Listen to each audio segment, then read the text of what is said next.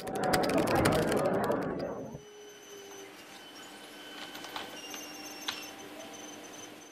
and welcome to the fourth PHP tutorial. In this tutorial we're going to be talking a little bit on uh, comments, variables, and just a little bit on like string concatenation as it's called, but mostly how do you put variables with on into a string basically. So uh, with that let's hop right on into it. The first thing is commenting. There's two ways to comment there. You can do a slash slash and that's good for a single line of comments. As you can see when you hit enter and you come down, no longer is it the same color, and now it's going to throw you some errors. Whereas in just a single comment, let's just do echo hello.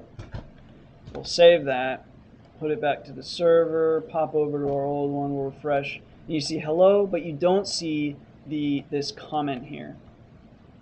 Now, if you're planning on commenting just like a huge comment or you want to put up like a list, like sometimes in tutorials I want to put up um, a whole different, like a whole bunch of examples or defining characteristics for something, and you'll want to, you'll just want to be able to list things out without doing slash slash list slash slash list. You know, um, the way to do that, to do a multi-line comment, is a forward slash star and then wherever you want to end it, star forward slash. And everything in here is now classified as a comment. So we can save that and throw that back to the server, refresh, and we still have hello. So um, that's comments.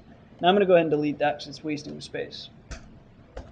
Um, so the next thing uh, is variables. So variables are defined in the following way. Use dollar sign and they can start with um, any kind of letter, uppercase or lowercase, and then also uh, you can start with an underscore. You can't start with a space and you can't start with a number.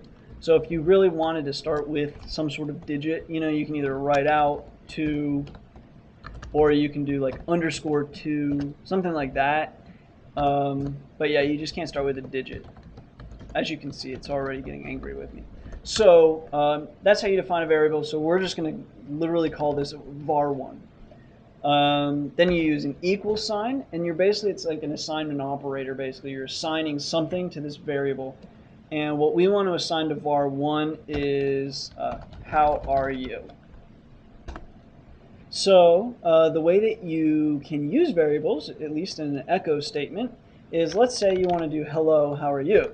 So you want to say hello, and then what you'll do is to put it like something um, to another, like to put a variable, to concatenate the variable to the string, use a period, that's called a full stop, and then you can just put the variable out. Now, what this is going to do is make somewhat of an ugly addition. Like in Python, you can use either the plus sign or the comma, and the comma just automatically adds a space, and the plus sign does not. Whereas here in PHP, um, you just have the full stop. So when we refresh this, and we didn't add a semicolon, I'm sure, yep. When we refresh this, um, you'll see that it's kind of jammed together. So naturally, what you'll have to get used to doing is spacing things. So hello, and really you want a period here, space, save that, and you'll put that up to the server, and you'll refresh. And now you see hello space, how are you? And it just looks better. And so that's how you add uh, variables and echo out variables.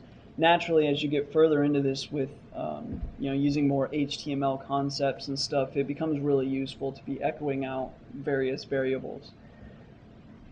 So now, just to expand this just slightly further, let's say um, the first variable we want to use is going to be name, and we're going to say name is Harrison, and we'll do age equals uh, 99. Let's say you want to do, um, you want to echo out hello, and you want to bold their name, and then you want to say your age is, and then you want to bold the age. You can probably already guess sort of how we might do this, or wholly how we might do this, but just as a quick example, it's good to just kind of run through this stuff. So let's say uh, we're going to do this. So hello, and then we want to do um, bold the name Harrison, but when you spit out a variable, you can't, you know, put, unless you put literally the strong tags in front of the variable, you could do it that way.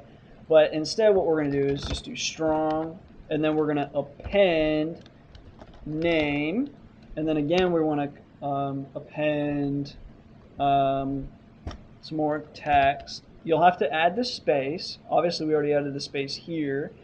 And then we wanted to go ahead and close off the strong tag, so we just want to bold the name. Then we wanted to um, say you are, and then again we wanted the strong tag. Close that off, period, age, period. We already opened up that uh, parenthesis or the uh, quotes there, and then we'll just do years old. Okay, so now it should say, hopefully, oh, we better close off the next strong tag. Strong. Close that off.